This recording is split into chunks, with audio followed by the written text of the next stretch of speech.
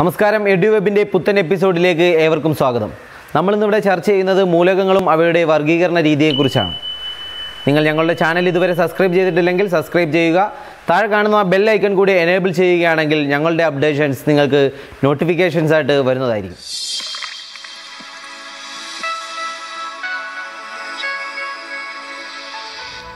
മത്സര പരീക്ഷകളിൽ സ്ഥിരമായി ചോദിക്കുന്ന ഒരു ടോപ്പിക്കാണ് മൂലകങ്ങളും അവയുടെ വർഗീകരണവും നമുക്ക് ക്ലാസ്സിലേക്ക് കിടക്കാം. മൂലകങ്ങൾ എന്നാൽ ഒരേ തരം ആറ്റങ്ങൾ കൊണ്ട് നിർമ്മിതമായ ശുദ്ധ പദാർത്ഥങ്ങളെയാണ് നമ്മൾ മൂലകങ്ങൾ എന്ന് പറയുന്നത്. ഒരേ തരം ആറ്റങ്ങൾ കൊണ്ട് നിർമ്മിതമായ ശുദ്ധ പദാർത്ഥങ്ങളെയാണ് നമ്മൾ മൂലകങ്ങൾ എന്ന് പറയുന്നത്. മൂലകങ്ങൾ ആറ്റങ്ങൾ കൊണ്ട് നിർമ്മിതമാണെന്ന് പറഞ്ഞ ശാസ്ത്രജ്ഞനാണ് ജോൺ ഡാൾട്ടൺ മൂലകങ്ങൾ ആറ്റങ്ങൾ കൊണ്ട് നിർമ്മിതമാണെന്ന് പറഞ്ഞ ശാസ്ത്രജ്ഞനാണ് ജോൺ ഡാൾട്ടൺ അതുപോലെ തന്നെ ആറ്റം കണ്ടുപിടിച്ച ശാസ്ത്രജ്ഞന്മാരാണ് ജോൺ ഡാൾട്ടൺ ആണ്. മൂലകങ്ങൾ ആറ്റങ്ങൾ കൊണ്ട് നിർമ്മിതമാണെന്ന് പറഞ്ഞതും ആറ്റം കണ്ടുപിടിച്ചതും ജോൺ ഡാൽട്ടൺ എന്ന ശാസ്ത്രജ്ഞനാണ്. അതുപോലെ തന്നെ പുതിയതായി കണ്ടുപിടിക്കുന്ന മൂലകങ്ങൾക്ക് അംഗീകാരം കൊടുക്കുന്ന അന്തർദേശീയ സ്ഥാപനമാണ് I U P A C എന്ന് പറയുന്നത്. പുതുതായി നമ്മൾ കണ്ടുപിടിക്കുന്ന മൂലകങ്ങൾക്ക് അംഗീകാരം കൊടുക്കുന്ന അന്തർദേശീയ സ്ഥാപനമാണ് I U P A C.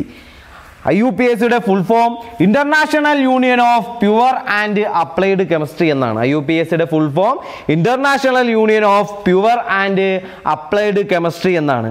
I U P S സിയുടെ ആസ്ഥാനം സ്വിറ്റ്സർലൻഡിലെ സൂറിച്ചാണ്. ഐ യു പി എസ് സിയുടെ ആസ്ഥാനം സ്വിറ്റ്സർലൻഡിലെ സൂറിച്ചാണ്. മൂലകം എന്ന വാക്ക് ആദ്യമായി നിർദ്ദേശിച്ചതും മൂലകം എന്ന വാക്കിന് നിർവചനം കൊടുത്തതും റോബർട്ട് ബോയിലാണ്. മൂലകം എന്ന വാക്ക് ആദ്യമായി നിർദ്ദേശിച്ചതും മൂലകങ്ങൾക്ക് നിർവ മൂലകം എന്ന പേരിന് നിർവചനം കൊടുത്തതും റോബർട്ട് ബോയിൽ എന്ന ശാസ്ത്രജ്ഞനാണ്. അതുപോലെ തന്നെ പ്രതീകങ്ങളെ അടിസ്ഥാന മൂലകങ്ങളുടെ പേരുകളെ അടിസ്ഥാനമാക്കി പ്രതീകങ്ങൾ കണ്ടുപിടിച്ചത് ബെർസേലിയസ് എന്ന് പറയുന്ന ശാസ്ത്രജ്ഞനാണ്. മൂലകങ്ങളുടെ പേരുകൾക്ക് അടിസ്ഥാനമാക്കി പ്രതീകങ്ങൾ കണ്ടുപിടിച്ചത് ബെർസേലിയസ് ആണ് അപ്പോൾ നമുക്ക് ഒന്നുകൂടെ നോക്കാം. മൂലകങ്ങൾ എന്ന് പറയുന്നത് ഒരേ തരം ആറ്റങ്ങൾ കൊണ്ട് നിർമ്മിതമായ ശുദ്ധപദാർത്ഥങ്ങളെയാണ് നമ്മൾ മൂലകങ്ങൾ എന്ന് വിളിക്കുന്നത്. മൂലകങ്ങൾ ആറ്റങ്ങൾ കൊണ്ട് നിർമ്മിതമാണെന്ന് ആദ്യമായി പറഞ്ഞ ശാസ്ത്രജ്ഞൻ ജോൺ ഡാൾട്ടൺ ആണ്. അതുപോലെ തന്നെ ആറ്റം കണ്ടുപിടിച്ച ശാസ്ത്രജ്ഞനും ജോൺ ഡാൾട്ടൺ ആണ്. പുതുതായി കണ്ടുപിടിക്കുന്ന മൂലകങ്ങൾക്ക് അംഗീകാരം കൊടുക്കുന്ന അന്തർദേശീയ സ്ഥാപനമാണ് I U P S C. U P S സിയുടെ full form international union of pure and applied chemistry എന്നാണ്. ഐ യു പി എസ് സിയുടെ ആസ്ഥാനം സ്വിറ്റ്സർലൻഡിലെ സൂറിച്ചാണ്. ഐ യു പി എസ് സിയുടെ ആസ്ഥാനം സ്വിറ്റ്സർലൻഡിലെ സൂറിച്ചാണ്. മൂലകം എന്ന വാക്ക് ആദ്യമായി നിർദ്ദേശിച്ചതും മൂലകം എന്ന വാക്കിന് നിർവചനം കൊടുത്തതും റോബർട്ട് ബോയിലാണ്. അതുപോലെ തന്നെ മൂലകങ്ങളുടെ പേരിനെ അടിസ്ഥാനമാക്കി പ്രതീകങ്ങൾ കണ്ടുപിടിച്ചത് ബെർസീലിയസ് എന്ന് പറയുന്ന ശാസ്ത്രജ്ഞങ്ങളെ ലോഹങ്ങളെന്നും അലോഹങ്ങളെന്നും വർഗീകരിച്ചത് ലാവോസിയർ ആണ് ആദ്യമായി മൂലകങ്ങളെ വർഗീകരിച്ചത് ലോഹങ്ങളും അലോഹങ്ങളും എന്നുമാണ് വർഗീകരിച്ചത്. അങ്ങനെ വർഗീകരിച്ച ശാസ്ത്രജ്ഞൻ ലാവോസിയർ ആണ് അതുപോലെ മൂലകങ്ങളെ ത്രികങ്ങൾ എന്ന് വർഗീകരിച്ച ശാസ്ത്രജ്ഞൻ ഡൊബറൈനർ ആണ് മൂലകങ്ങളെ ത്രികങ്ങൾ അല്ലെങ്കിൽ ട്രയാഡ്സ് എന്ന് വർഗീകരിച്ച ശാസ്ത്രജ്ഞൻ ഡോബറൈനറാണ് മൂലകങ്ങളെ അറ്റോമിക മാസിന്റെ അടിസ്ഥാനത്തിൽ തിരിച്ചിരിക്കുന്ന പട്ടികയാണ് ആവർത്തന പട്ടിക. ഇത് ആവിഷ്കരിച്ചിരിക്കുന്നത് ഡിമിട്രി മെൻഡലിയേഫ് എന്ന് പറയുന്ന ശാസ്ത്രജ്ഞനാണ്. അപ്പോൾ ഡിമിട്രി മെൻഡലിയേഫ് മൂലകങ്ങളെ അവയുടെ അറ്റോമിക മാസിന്റെ അടിസ്ഥാനത്തിൽ തിരിച്ചിരിക്കുന്ന പട്ടികയാണ് ആവർത്തന പട്ടിക എന്ന് പറയുന്നത്. അതുപോലെ തന്നെ ആധുനിക ആവർത്തന പട്ടിക എന്ന് പറയുന്നത് മൂലകങ്ങളെ അവയുടെ അറ്റോമിക നമ്പറിന്റെ അടിസ്ഥാനത്തിൽ തിരിച്ചിരിക്കുന്ന പട്ടികയാണ് ആധുനിക ആവർത്തന പട്ടിക. അറ്റോമിക നമ്പറിന്റെ അടിസ്ഥാനത്തിൽ മൂലകങ്ങളെ വർഗീകരിച്ചിരിക്കുന്ന പട്ടികയാണ് ആധുനിക ആവർത്തന പട്ടിക. ഇത് ആവിഷ്കരിച്ചത് ഹെൻറി മോസ്ലിയാണ്.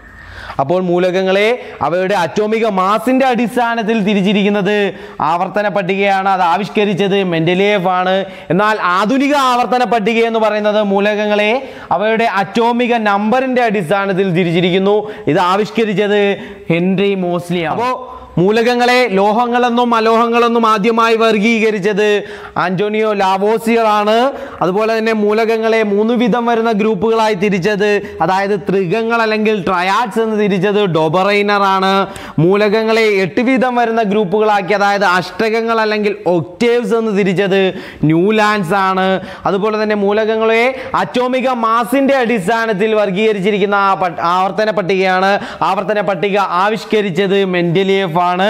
മൂലകങ്ങളെ അറ്റോമിക നമ്പറിന്റെ അടിസ്ഥാനത്തിൽ വർഗീകരിച്ചിരിക്കുന്നത് ആധുനിക ആവർത്തന പട്ടികയിലാണ്. ആധുനിക ആവർത്തനിക പട്ടിക ആവിഷ്കരിച്ച ശാസ്ത്രജ്ഞൻ ഹെൻറി മോസ്ലിയാണ്. മൂലകങ്ങളെ അവയുടെ അറ്റോമിക നമ്പറിന്റെ ആരോഹണ ക്രമത്തിൽ വിന്യസിച്ചിരിക്കുന്ന പട്ടികയാണ് ആധുനിക ആവർത്തന പട്ടിക. ആധുനിക ആവർത്തന പട്ടികയിൽ സമാന്തരമായിട്ടുള്ള കോളങ്ങളെ നമ്മൾ വിളിക്കുന്ന പേരാണ് പീരീഡുകൾ.